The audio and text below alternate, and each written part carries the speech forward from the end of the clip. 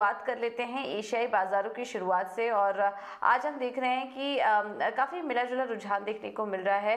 हालाँकि एक्जेक्स निफ्टी अच्छी मजबूती के साथ कारोबार कर रहा है, सत्रह हज़ार नौ सौ के ऊपर। इस वक्त एक्जेक्स निफ्टी दिखाई दे रहा है।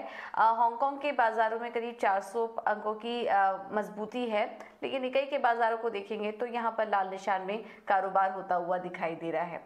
और किस तरीके के संकेत मिल रहे हैं ग्लोबल मार्केट से? एक बार ये भी समझ लेते हैं क्योंकि कल भारतीय बाज़ार तो बंद थे, लेकिन ग्लोबल मार्केट में पूरा एक्शन दिखाई दे रहा था। तो वहाँ पर किस तरह के संकेत आ रहे हैं, ये एक बार समझ लेते हैं और मानसी हमारे साथ जुड़ चुकी है पूरी डिटेल्स के साथ। मानसी, गुड मॉर्निंग, बताइए। बिल्कुल, पूजा गुड मॉर्निंग एशियाई बाज़ार तो अभी आप बता रही थी, शुरुआत अच्छी होती हुई ज़रूर दिख रही है, लेकिन अमेरिकी बाज़ार की अगर बात करें, लगातार दो दिनों की रैली जो है, उस पर ब्रेक लगता हुआ दिखा है। अमेरिकी बाज़ार निचले स्तर पर बंद होते हुए दिखे और इसके पीछे की है, वहाँ का अर्निंग सीज़न जो टेक्नोलॉजी हैवी काउंटर्स के रिजल्ट्स आते हुए दिखे हैं वो अर्निंग्स में म्यूटेड एक्शन रहा, जिसके चलते हमने देखा कि यहाँ पर इंडेक्सेस पर भी उसका असर पड़ता हुआ दिखा। डाउ जोन्स ऊपरी स्तरों से 100 अंक नीचे जाकर बंद हुआ है और नेस्डैक में भी 200 अंकों की बिकवाली का दबाव ऑलमोस्ट 228 पॉइंट्स के डाउन ट्रेंड के साथ क्लोजिंग हमने देखी। एस में भी लाल निशान के साथ बिकवाली का दबाव ही रहा। टेक कंपनियों के कमज़ोर नतीजे आते हुए दिखे। फेसबुक की चौथी तिमाही के कमज़ोर आउटलुक के बाद शेयर में भी हमने बिकवाली का दबाव देखा।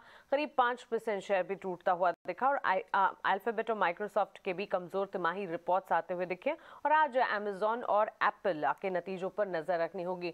तो रिज़ल्ट हैवी सीज़न वहाँ पर भी चल रहा है उसी का इम्पैक्ट है जो कि मार्केट्स पर और इंडेक्सेस पर पड़ता हुआ आप देख रहे हैं।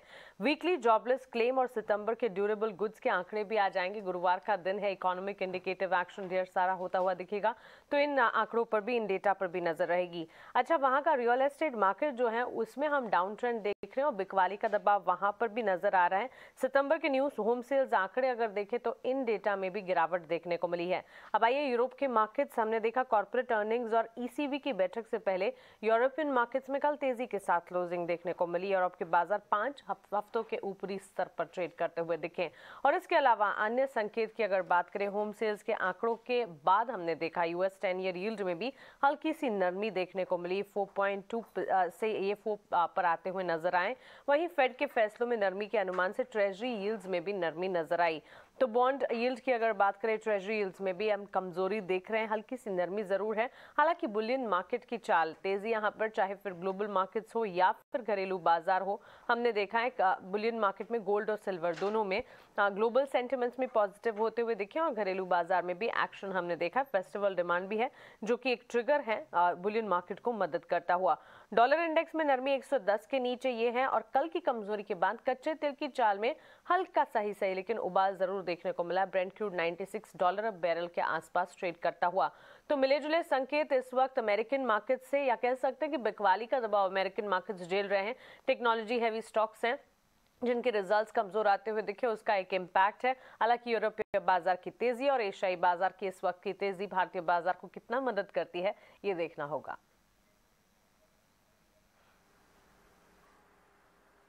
बिल्कुल। तो फ़िलहाल जो संकेत दिख रहे हैं वो काफ़ी मिले जुले से हैं। यूएस के बाज़ार में थोड़ा बहुत कंसर्न दिखाई दे रहा है।